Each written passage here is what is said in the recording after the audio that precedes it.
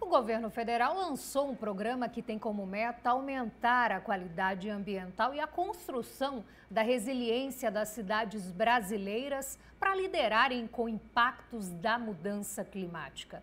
Um tema que, diante dos impactos, como as enchentes no Rio Grande do Sul e a seca no norte do país, pede ações e políticas públicas imediatas. Para falar mais sobre o assunto, nós convidamos a especialista em desenvolvimento sustentável, Lilia Henglen. A gente, inclusive, começa falando sobre a importância né, desse programa. Boa tarde, seja muito bem-vindo ao Correio Debate. Boa tarde, Rafael. Prazer meu estar aqui com vocês. E aí, então, a gente fala, né, começa falando sobre a importância desse programa. Eu acho que era algo muito esperado. Realmente, é, é muito importante que o governo federal lançou um programa com esse olhar diferenciado de como fazer projetos para cidades. É, então, ele é um programa que ele é, preza pelo diagnóstico, um conceito, um planejamento, projetos, governança e gestão.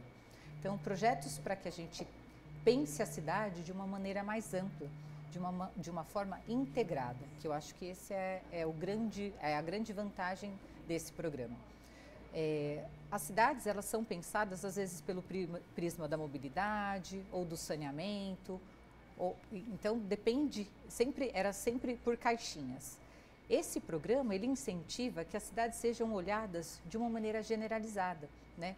Tratando de todas as camadas dentro da sociedade que a gente precisa. São 10 anos de experiência liderando projetos com essa temática. Isso. Eu agora te, estou com a Das Naturlands, né, minha empresa. Então, o que, que nós fazemos? Nós precisamos de cidades saudáveis, de cidades prósperas e de cidades mais é, resilientes. Então, uh, eu acabo fazendo projetos que entregam é, programas de cidades inteligentes, sustentáveis e resilientes. Então, esse é o, é o tema que eu trabalho tem muita coisa a ser feita, né? Tem Está em João coisa. Pessoa, inclusive, pela terceira vez, é Isso. paulista. É, eu sou paulistana, estou em João Pessoa, sou apaixonada por essa cidade, então tem, eu vejo um potencial muito grande em João Pessoa para se adaptar a essa nova cidade. Então, é uma maneira diferente de pensar a cidade por todos esses prismas social, ambiental, da sustentabilidade, se os planos diretores estão funcionando, se a cidade ela está funcional, a mobilidade sustentável. Então você tem que ter um olhar bem ampliado de todas essas, de todas essas diretrizes e todas essas disciplinas ao mesmo tempo.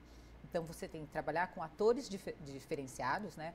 trabalhar com o governo, trabalhar com os atores privados e, e trabalhar com a sociedade. Então os bons projetos são esses o que o decreto federal traz é esse novo olhar. A cidade, ela não pode ser, é, pode, você pode, por exemplo, ter uma cidade inteligente. O que, é uma cidade inteligente? É aquela que utiliza da, da, da tecnologia. Por exemplo, a gente pode ter é, as câmeras de monitoramento ligadas à polícia, você pode ter o farol, os faróis, não sei como é que eles falam, mas a iluminação Sim. pública, né? A iluminação pública ligada, dimerizável para fazer economia. Por exemplo, dentro da gestão pública, os prontuários médicos digitalizados, os processos dentro da prefeitura digitais. Então, isso é uma cidade inteligente, onde ela tem toda essa inteligência na integração das informações, na gestão pública passando de cidade inteligente, a gente também precisa de cidade sustentável, porque não adianta eu ter toda essa tecnologia e ter o esgoto é, correndo a céu aberto. Então, aí a gente fala o tema de cidade sustentável, que vai ver como estão as áreas verdes da cidade, se, se essa cidade está preparada para essa nova mudança climática que já entra na, na, resiliência, né? As cidades elas precisam ser mais frescas, mais arborizadas, se a gente tem um sistema de drenagem adequado na cidade para evitar esses alagamentos, porque nós vamos ter realmente esses impactos por conta das mudanças climáticas. Então, quando a gente fala que o que é uma cidade resiliente, é essa cidade que está preparada para enfrentar essas crises. E falando da nossa capital, você já conhece aí vários países do mundo, inclusive já prestou serviço. Como nós estamos? Como João Pessoa está? Está aqui já pela terceira é. vez, já é. conhece é. alguma coisa diante de países de primeiro mundo? Então, na verdade, é, é aquela grande oportunidade. Eu vejo é, João Pessoa como uma grande oportunidade. Por quê? Ela não se concretou porque as grandes cidades, Paris, por exemplo, ela está removendo 40% do concreto da cidade. Então as cidades estão buscando o quê? o, trazer o verde, trazer a natureza para dentro da cidade. João Pessoa ainda tem esse equilíbrio de ser uma cidade moderna, mas ao mesmo tempo ainda tem um grande potencial verde.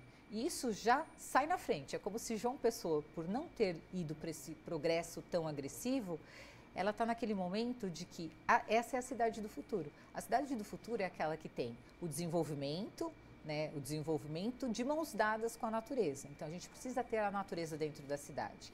Somos Tra uma cidade arborizada, né? Arborizada, verde, tem muitas áreas verdes, tem os rios ainda naturais, né, naturalizados. Então, às vezes é mais importante, ah, eu tenho um rio poluído ou tenho um rio canalizado. É melhor neste momento ter um rio poluído, porque ao longo do tempo a gente tem técnicas e, e, processos e projetos que você pode despoluir, né? faz a drenagem, faz o tratamento de esgoto, trata a poluição difusa. Então, tudo isso é possível resolver. Mas quando a gente já está com ela toda concretada, resolver é mais caro porque você tem que é, retornar a natureza para o estado natural. Inclusive, você está aqui em João Pessoa porque vai ministrar uma palestra na próxima semana, não é isso? Isso, é nessa sexta, nesta quinta-feira, quinta isso, 13. nos Induscom para os empresários e também para alguns entes públicos, exatamente para falar do potencial que João Pessoa tem. A gente vai focar muito no polo turístico do Cabo Branco, que é a joia rara, na minha opinião, de João Pessoa, um lugar belíssimo, então que tem um potencial muito grande de desenvolvimento para a cidade, mas também para o estado da Paraíba. E aí, né? pode trazer para a gente em primeira mão, né? O que, que você pretende trazer? É. Sei que essa é uma palestra direcionada. É. É mas palestra... é um assunto de interesse público. É. é. eu acho que eu vou falar o que todo mundo já sabe, né? É que é um grande potencial, mas é a metodologia, como fazer. Eu acho que esse é o, é o que eles têm de expectativa. Então, a importância de você. Nós estamos vivendo agora na era da sustentabilidade. Eu, eu brinco com isso. A, a era industrial ela acabou nesse sentido e entramos na era da sustentabilidade. Os outros polos é, de turísticos que a gente tem no Nordeste, eles foram feitos e estão naquele mesmo modelo, não, não, não teve uma evolução. Então, o polo é, de Cabo Branco ele tem essa potencialidade de nascer já com essa vocação de sustentabilidade, para atrair inclusive um novo tipo de turista para João Pessoa e para Paraíba, que é o turismo, turismo ecológico. Né? Um turismo de uma classe mais internacional, é, o polo está rodeado por aquela mata atlântica, abraçado por um maciço muito grande, uma unidade de conservação de mata atlântica importantíssimo. Então, é o turista que a gente quer ter, que o Brasil quer ter, que a Paraíba quer ter, que João Pessoa quer ter. Que é um turismo que, protege, que é um turista que ele não traz problema.